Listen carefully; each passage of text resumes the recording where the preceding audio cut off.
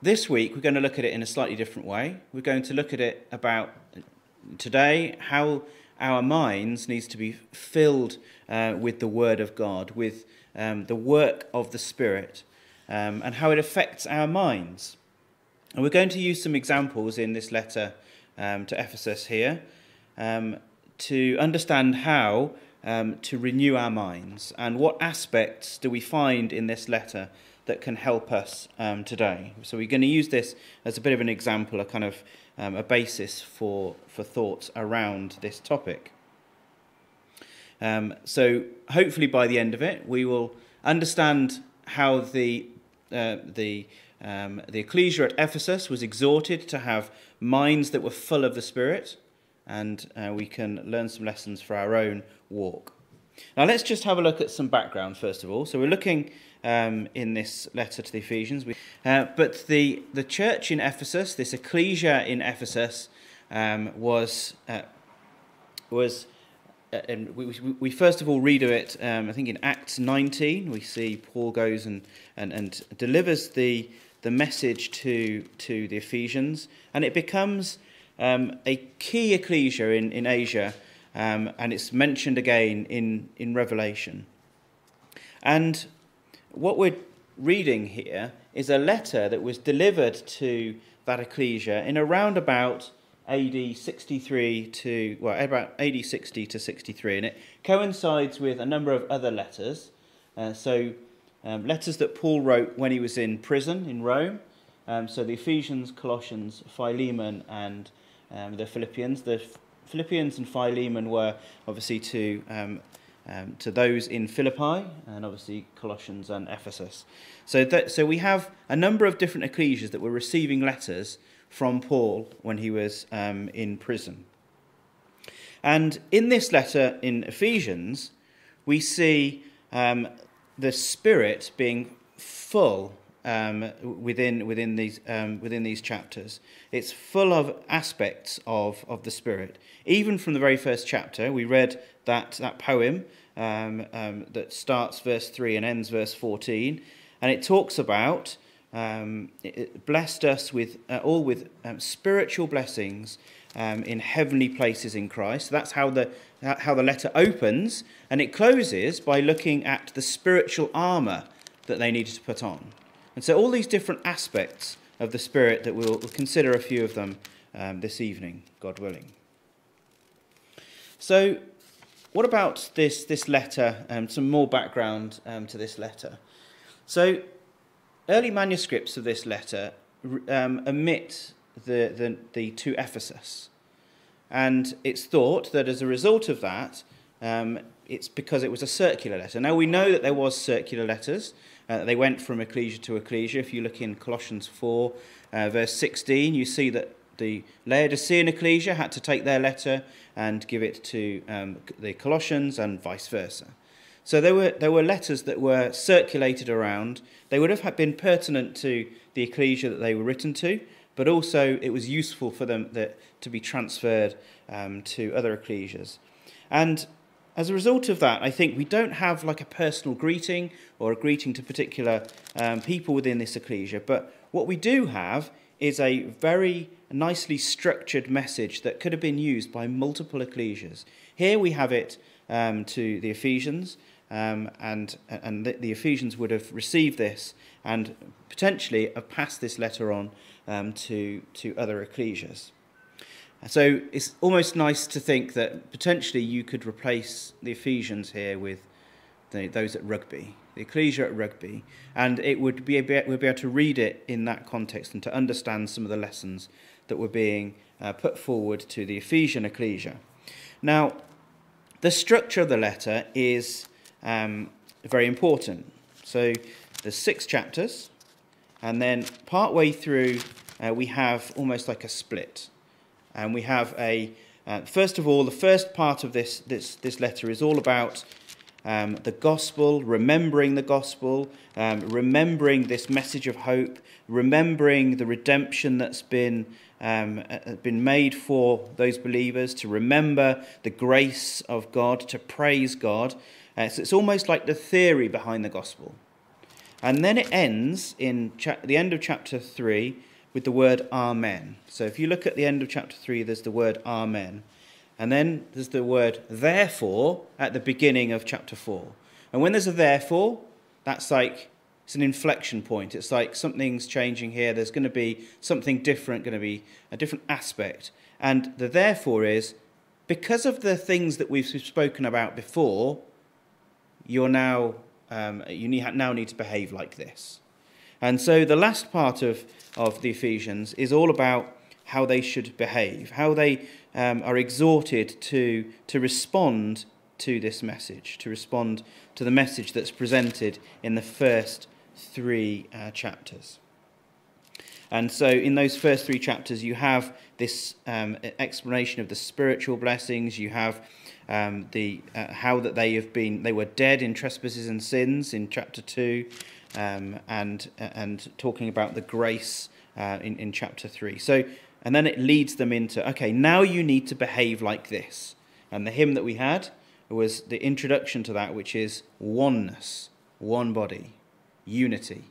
Uh, is one of the first exhortations uh, that is presented as a result of the, the, the gospel being reminded to them. Now, the topic we have is, is spirit, um, and it's part of this series. So, first of all, let's just um, identify kind of where this idea crops up uh, within, within this, this, this letter to the Ephesians. So, it appears in every chapter in some way, uh, this idea of the Spirit. In this first chapter, we have um, this very important kind of um, um, statement at the beginning around spiritual blessings in heavenly places. That section ends with being sealed with the Holy Spirit. Again, very important for what we're going to talk about today. And this spirit of wisdom is also mentioned there. So it's about giving them this wisdom, giving them blessings, giving this people uh, blessings, that, and reminding them that they have received something pretty amazing. Um, and the thing that they have received is spiritual. It's not of this world. This is something different. This is something unique. Chapter 2 then goes on and it talks about um, the, the, purpose going from um, it, um, being in sin to in Christ. So, this is transition that happens. Um, and it talks about heavenly places again in, in uh, verse 6 of that. And it talks about going from this spirit, the sons of disobedience in verse 2, to being um, one spirit to the Father and dwelling, in, um, uh, uh, having, being a dwelling place by the Spirit. So, this building up, up of a temple um, into this dwelling place through the Spirit. So, there's this, um, this, this action of the Spirit here. Uh, we then have chapter 3 which is um, then the revealing of, of the mystery in Christ, which is revealed by the Spirit. So we've got this the Word of God reveals who Jesus is to the, all those that were, were listening. Um, and along with that, the gospel uh, message, this hope and grace that, that's um, identified. Chapter 4, we then have the therefore statement and, and then the imperative to then act and do something. So, unity of the Spirit in the bond of peace, one body, one spirit, one hope, being renewed in the spirit of your mind, which is our topic, and then the Spirit of God, ye are sealed. So, there's that idea of being sealed again um, in chapter 4. And then, verse uh, chapter 5 is when we have the examples of behavior put side by side. So, the examples of of um, the flesh, so being drunk um, and taking in wine and being drunk, and then the opposite of that is being full of the Spirit. So there's this, this um, these two things are put uh, side by side as examples of, of the flesh and spiritual thinking. And then we uh, conclude with um, the spiritual armor, so the armor, the whole armor of God, um, and as part of that, we have the sword of the Spirit. And then it explains what the sword of the Spirit is. If you were in any doubt as to what the sword of the Spirit was, it explains that it is the Word of God. And so we have an explanation that this Spirit that's been talked about is linked with the Word of God, it's the message of God. And at this point, we're wielding it. So we've gone all the way from understanding that there's spiritual blessings in Christ in chapter 1 to using that Spirit um, in the last chapter. So now you've got to go and do something with that spirit, um, that, um, that message, that word of God, and you use it to go and preach to those around. So there's actually two things that we're asked to do in that last chapter. We're asked to pray, pray um, in the Spirit, and the sword of the Spirit, which is obviously going out and preaching. So we've gone from receiving the Spirit, Spirit word in the first chapter and then acting and getting into this state of action um, in the last chapter. So let's um, first of all consider the mind. Let's consider the mind. So that's part of the, the topic uh, that, that we're looking at. It's this idea of, of the mind and how the mind is altered uh, by the application of, of the Spirit and how, um, how this works. Okay, so the word, the word spirit that we see here, and actually um, spiritual blessings is linked to this word as well. It's the word pneuma. Um, as we know, those who are students of, of language will know a lot more about um, the Greek than I will. Um, but if you, if you look the word up and kind of how it's used, um, yes, it means breath and it means to breathe in, and we get this idea, don't we, linked with inspiration and breathing in. Uh, we get links with creation and breathing into the nostrils in order to give life. Um, we get uh, th- those ideas, but also um, it, it, speaks of, of the rational mind and it speaks of the mental disposition. And I think that's quite an interesting uh, way of thinking about, particularly the verse that we're looking at here, which is to renew the spirit of your mind. So if you think about what's going, washing through your mind, being breathed into your mind, um, it's talking about renewing the mental disposition that you have, filling your mind with something which is not, um, which is not normal, which is wasn't wasn't um, normally there. It wasn't naturally um, in your mind. So let's have a look at some examples of that, and then what we're going to do is we're going to structure the rest of what we're uh, uh um, um, doing around First of all, looking at the mind and looking how the mind is altered by the Spirit. That's the first thing we're going to do. And then we're going to look at three aspects that we, that we see in um, the book of Ephesians, or this, this letter, which um, shows us the effects of that, the changes to us as a result of that. So, first of all, we'll look at the change in the mind, and then three aspects uh, of, of our lives, uh, how it changes our behavior. So, that's the structure. So let's first of all have a look at the chapter that we have as our as our keynote, uh, which is um, uh, chapter five. Uh, sorry, chapter four and verse twenty-three. That's that's the verse that we have as our title to uh, be renewed in the spirit of your mind. Okay, so so where does this argument all start? Where does this verse sit? Because it sits in a context, um, and the context starts in verse um, 14, sorry, 17, verse 17. Uh, this I say, therefore, testify in the Lord that ye henceforth walk not as other Gentiles walk in the vanity of their mind.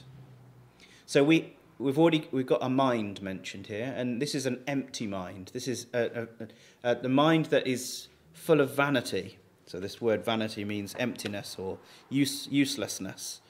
Um, so, vanity of their mind.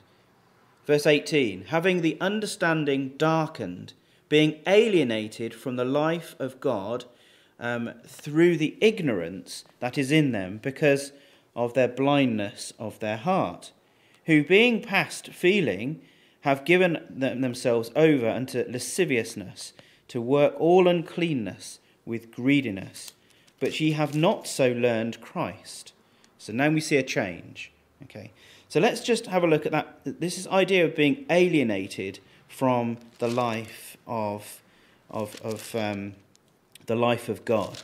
And we have this coming out in chapter 2, this idea of no longer being alien, but be belonging somewhere. So now, so this is chapter 2, verse 19. Now, therefore, ye are no more strangers and foreigners, um, but fellow citizens with the, with, uh, with the saints and of the household um, of God. So it's this idea of no longer being separated from these things, but actually fellow citizens in the household of God. So, this natural state, this state of Gentiles that was being dealt with here, there would have been a lot of Gentiles in, in Ephesus, um, they were coming from this um, natural state of darkness and being separated and alienated from the life of God. But they've learnt something. Now, remember, we learned about wisdom, didn't we, in that first chapter? There was this wisdom that was, um, was, was given, and that wisdom was filling their minds, and it was changing the, the, way, the way that they thought. This was in, um, the, in verse 17 of chapter 1. Um, uh, the uh, God of our Lord Jesus Christ, the Father of glory, may give unto you the spirit of wisdom and revelation in the knowledge of him. So something's been revealed, a light's gone on um, in their brain. They've just received um, this, this lightness. But, at, but ye have not also learned Christ, verse, uh, back in chapter 4, verse 21 now. Um, if so be that ye have heard him and have been taught by him as the truth um, is in Jesus. That ye put off concerning the former conversation the old man, which is corrupt according to the deceitful lusts, and be renewed in the spirit of your mind, and that ye may put on the new man, which after God is created in righteousness and true holiness. And so you get this um, idea of going from one state of darkness, alienation, to being um, having the truth, having light, um, and all of these, the, the, having the mind renewed. And there's this word created. There's this idea of creation. Something uh, has changed in the mind. Something has changed in the mind. We'll come onto that um, in a moment. Now, we have kind of the two sides put um, side by side here the vanity and darkness, and then we have the renewed righteousness and holy are the aspects um, of these two sides of the mind, the flesh and the spirit um, side that we see put very starkly within, within this um, letter. And there's two sets of actions, and there's a couple of these. If you read through, there's two sides to how each, each side um, would act. So in verse 28, it says, Let him that stole steal no more, but rather let him labour, working with his hands the things which is good. And so we have behavior which is changed as a result of the mind. And that's really the, the whole idea of, of this letter to the Ephesians. We've given you this thing, we've changed your mind, we've put your mind into a completely different place. Now go and do something about it. Go and actually change um, the way um, that you behave, the way that you treat others. Uh, so I talked about um, this idea of, of, creation, and this it comes out of out of um, verse 24 here. Put on the new man, which after God is created in righteousness and true holiness. So there's this idea of creation, and, and this links, doesn't it, with the, the, the um, an aspect of the Spirit, this breathing. So breathing into the nostrils and bringing forth, bringing forth um, life. Now we see some other um, links here as well. Uh, we won't go into that one too much, but let's go to um, let's go to um, a couple of verses which parallel this idea in, in Ephesians really strongly. So in Psalm uh, 51, we have some very similar um, aspects being brought out. So Psalm 51.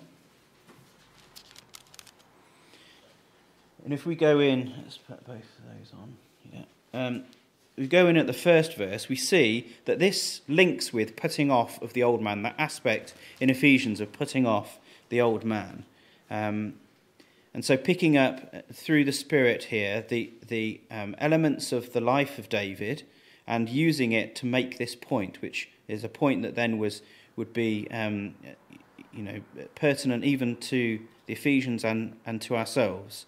So, verse 1 Have mercy upon me, O God, according to thy loving kindness, this idea of grace, which we'll see in a moment, according uh, unto the multitude of thy tender mercies, blot out my transgressions.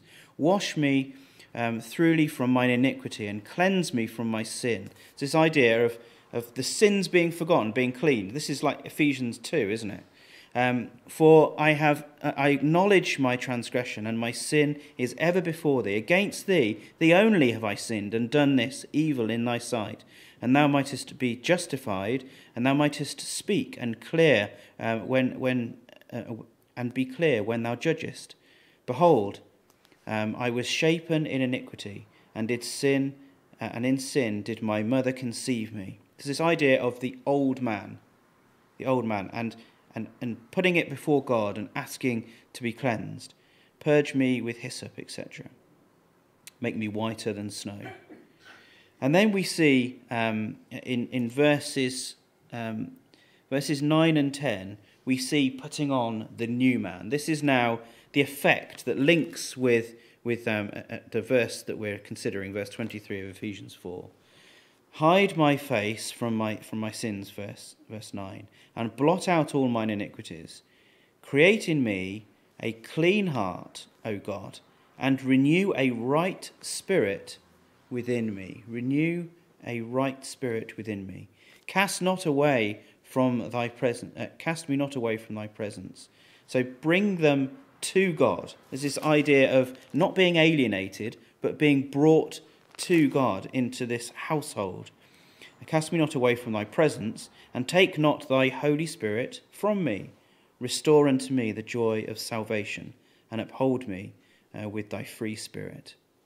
And so we have very similar ideas, don't we, here in, in um, Psalm 51 to the letter that was sent um, to the Ephesians. And again, it's not a unique um, um, message in Scripture that we see this in, in, in Psalm, we see it um, here in, in Ephesians, but we also see it in Corinthians, we see it here in Romans 8. And in Romans 8, we see there's a huge section here that talks about the, the spirit and the flesh, and they're put side by side, and they're, they they they are um, two ways of living, two ways of living which have been put side by side. So in verse, verse 3, um, for what the law could not do, um, in that it was weak through the flesh, God sending his own Son in the likeness of sinful flesh, and for sin condemned him in the flesh that the righteousness of the law might be fulfilled in us, who walk not after the flesh, but after spirit. After the spirit. What does that mean? Walking after the spirit. It means a complete change in outlook, doesn't it?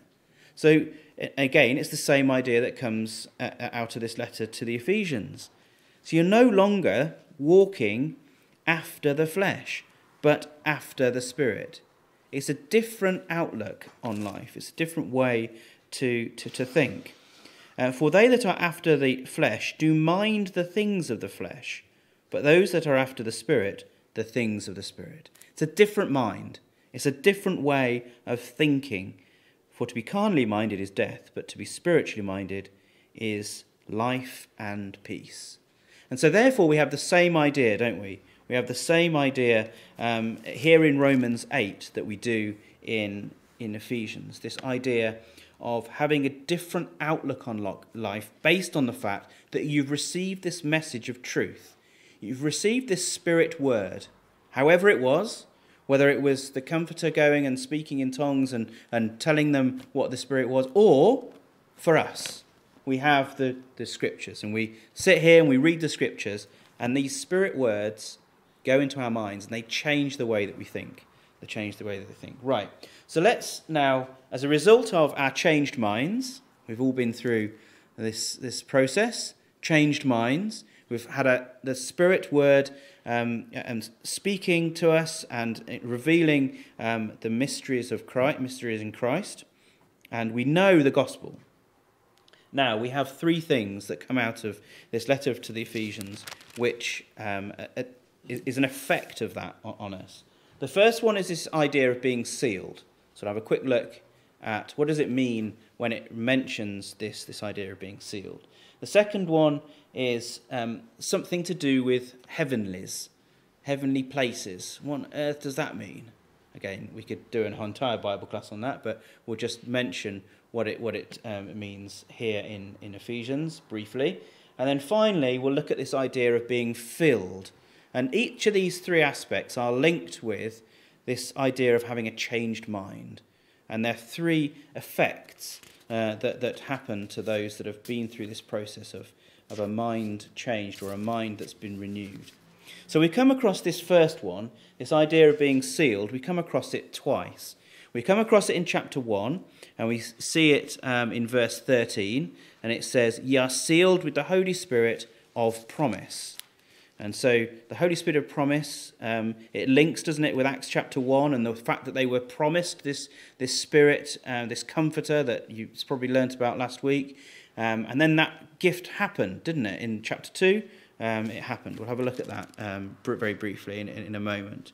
Uh, but we also see it in the chapter 4 that we saw. Um, let's see if I can find it. In chapter 4, it talks about not grieving um, that yeah, here we go. Verse 30. Grieve not the Holy Spirit of God, whereby ye are sealed. This idea of being sealed by the Holy Spirit. Now, this first one, it comes in this um, in this in the poem that we read um, as an introduction. The poem is a single, I believe. Again, those of you who are um, sort of uh, students of the text will will let me know whether this is wrong or not. But there is a sentence of uh, like a a full sentence that flows from verse 3 to verse 14. And there's, there's no, no there's, it's, a, it's a single sentence, and it's like it's presented as a poem. And it's punctuated by three um, sets of praising God. So if you look at verse 6, at the beginning of verse 6, it says, To the praise uh, of the glory of his grace. So, first of all, it talks about praising the glory of his grace. In verse 12, it said, He that um, should be to the praise of his glory who first trusted in Christ. And then the final one is at the end of verse 14, unto the praise of his glory. So this sealing fits into that structure. It fits into this poem that starts at verse 3 and runs to, to verse 14, punctuated by these, these three praises. And these three praises um, link, uh, link with grace, trust or hope, and the glory to God. So that, that's, the, that's the flow that you get. And you get a very similar idea that comes out in, in Romans um, 5. And in Romans 5, it says, Therefore, being justified by, uh, by faith, we have um, the peace.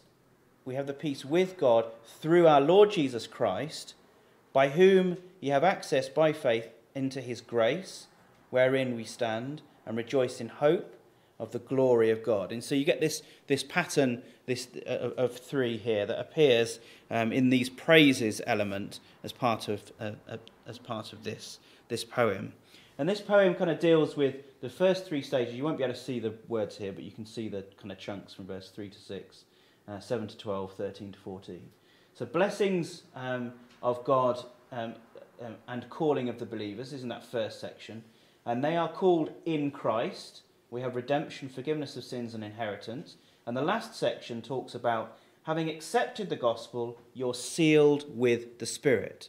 You're sealed with the Spirit. And there's this, there's this idea uh, in that last section of, of being purchased. So that it, it says um, sealed, and that word sealed is linked with the idea of being purchased.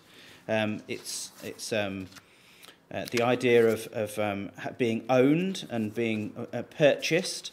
And then we have this idea reiterated in the next verse, which is a purchased possession, a redemption of the purchased uh, possession. And so we see this idea countless times uh, within, within Scripture. There's this one in, uh, in John 6, um, which we won't look at, but in, in John 3, we'll look at this one. And it talks um, here about our mind being changed, and in doing so, being sealed. So we have this idea of a change of mind and being sealed, um, being purchased. So in John chapter 3 and verse 33, um, um, he that received his testimony, was the testimony of, of Jesus, or it's just the testimony of John actually, uh, who, whoever received that testimony um, hath set his seal that God is true. It's been sealed and had this, this, this idea of being owned, and in doing so is, is, is saying that God is true. Um, and then we have this idea of, of, of being bought with a price that we see in 1 Corinthians chapter 7. So, having accepted this gospel and being sealed, we are essentially of being purchased, with this idea of being purchased. And our mind now has the mark, um, the mark that we have been redeemed. We, we have been redeemed. Now, what does that then mean for us? How does our mind then work? It should work differently. And that's the second aspect that we have here uh, in, in uh, Ephesians, which is something to do with the heavenlies. Now, we see the heavenlies in a number of different places. We have it in these five, five places within um, Ephesians. We also have some other references which link to them I've put on the side here. Um, two of them are, of great um, interest to us in this context. Um, so, heaven is, is really talking about. Um, uh, well, let's have, let's have a look at the two of them. So, we have verse 3 of chapter 1. Blessed be, this is the opening of this poem. Blessed be the God and Father of our Lord Jesus Christ, who hath blessed us um, with all spiritual blessings in heavenly places in Christ. Something to do with being in Christ and heavenly places, or heavenlies, as that the word places there, as you'll see, is in italics in the AV. So it's the word heavenlies. Um, and we see it again uh, in chapter 2 and verse 6. This is the effect of being baptized, uh, raised up together, and made us to sit together in heavenly places in Christ Jesus. And so, doing a full study of this um, would, would take uh, our, our entire evening. However, it's interesting that this is a situation that exists today. Like you've been baptized, and He's raised us up together to sit in, uh, together in heavenly places. Um, there is an idea, um, if you look at these other verses, uh, to be um, to do with uh, people in power and authority, and it also links with ideas in, in Colossians as well. There's a strong correlation between these ideas that we see in Ephesians here and what we see in, in, in the letter to um, the Colossians. Um, but it's really those that have been baptized, those that have been sealed, um, are essentially um, saying that they are looking to something different.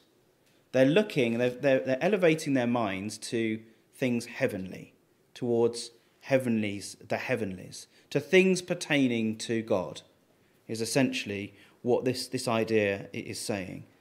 So your mind has been renewed, it's had the effect of the Spirit word on it, and in doing so, it's been sealed, you've been purchased, and as a result of that, you're living your life looking to things pertaining to heaven.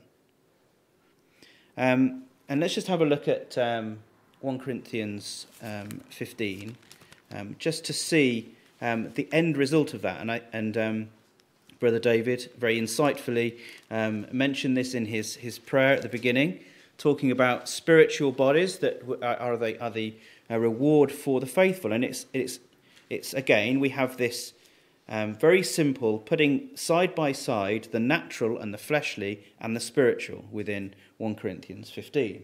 1 Corinthians 15, verse 45 So as it is written, the first man Adam was made a living soul, and the last man Adam was made a quickening spirit. And so, even though we've got the actions of the Spirit here, we've got the actions of, of God breathing into the nostrils, uh, the angel, this breath going into the nostrils, and the breath of life we have that put side by side with the quickening spirit, this life giving spirit. Um, and so uh, putting into the minds the, the word of God that can, that can provide this everlasting life.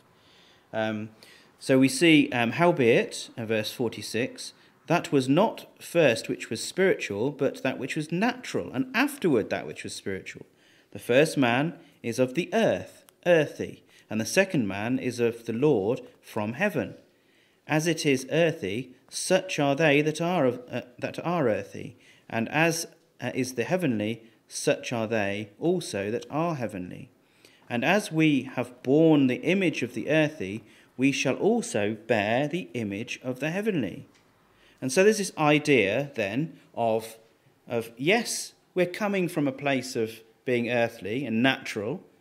However, we want to have this life giving spirit blow through our minds and have us looking to things heavenly. We don't have it at the moment. We, have not attained it. We've not been given it yet, uh, the, the, the result, this spiritual body. But that's the thing that we're looking towards. That's the thing that we're headed towards. And that's the thing that the Ephesians are told to look towards the things heavenlies. Yeah, so, so the things um, heavenly. So let's go back to, to Ephesians and look at our last aspect before we conclude. So the last aspect we said was the idea of being filled. And again, this idea um, of being filled is something that repeats. If you look at the, um, th- this idea of being filled, it crops up all over the place uh, within Ephesians. So we see it in Ephesians 1, verses 10. Um, so we see here, uh, where do we see that? Yes, yeah, so uh, that is the dispensation of the fullness of the times. We see it in verse 23, uh, that uh, which is his body, the fullness of him that filleth all in all. We see it in chapter 3 and verse 19.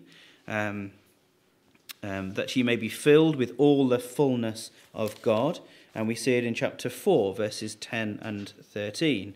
So descended up, um, uh, or is it descended, is the same that ascended up far above all heavens, um, that he might fill all things. And verse um, 13 as well. So we see this idea of fullness or being filled, and again, it links with the uh, same ideas that we see within, within Colossians. Now, what does this word mean? This is the word, again, I'm no scholar, but it's the word pleroo.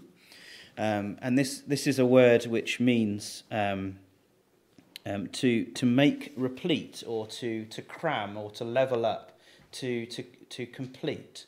Uh, so there's this, this idea, and we see the same idea um, linked with um, the Spirit in Acts chapter 1. So remember when they were promised this, um, the, the, the, Spirit gifts, uh, this idea of, of being complete or being filled comes when the Spirit is given to them. So when they're up in, the, in that upper room, um, they're in the upper room and the, and the uh, the, the wind, mighty wind, blows through, and, it, and what does it do? Well, first of all, it fills, filled all the house, and they were sitting, and they appeared unto them cloven tongues, which were a fire, and it sat on each of them, and they were all filled with the Holy Spirit.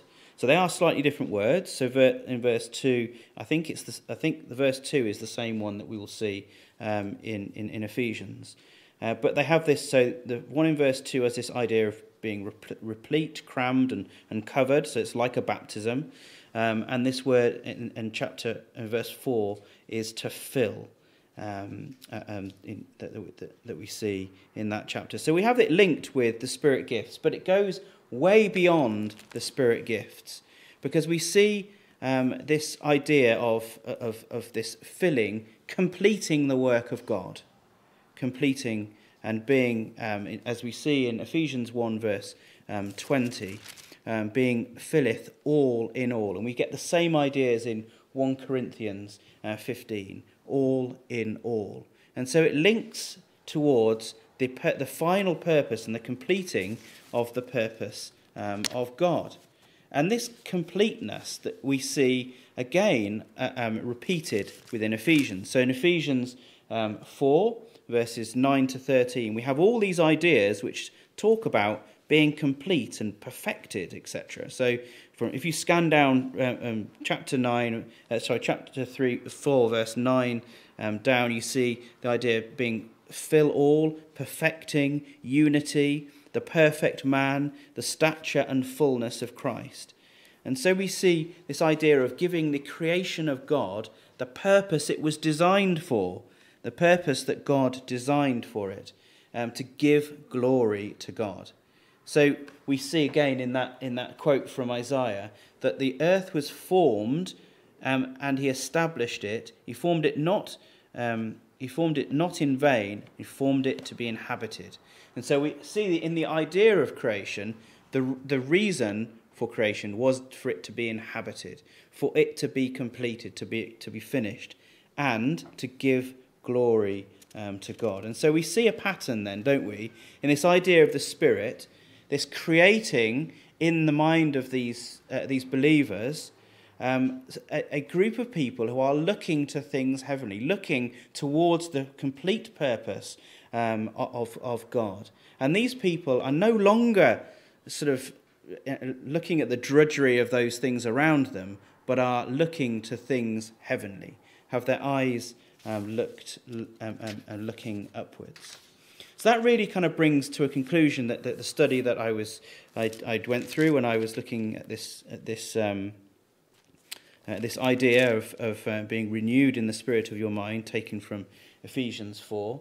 Um, just to summarize those, those three points, we, we see that the Word of God, and this, you know, the Spirit Word uh, that we see in this, this um, that hand of the, of the soldier in, in, in chapter 6, the Word of God, this Spirit Word, it works on man. It renews the mind of man and removes the, the old man and it fills it with a spiritual message. And in doing so, it redeems and purchases and seals them. Um, and in doing that, they are looked, looking um, heavenly. They're looking to things um, heavenly. So we can take this message that was given to the Ephesians all those, all those years ago, and we can apply it to our own minds as well, can't we? We can apply this same idea, this same um, complete changing of, of approach to our own minds, and, and many of us have done that. We need to continue um, doing that. The work of the Word of God, this Spirit Word, continues to work on our mind, to renew our minds, and to, um, to create um, in us a clean um, heart. So let's just conclude then, maybe with a passage um, in Ephesians. And if you remember, sorry, not in Ephesians, in in uh, Philippians, and uh, we read we read um, a, a verse in Philippians that says, "Let this mind be in you, which was also in Christ Jesus."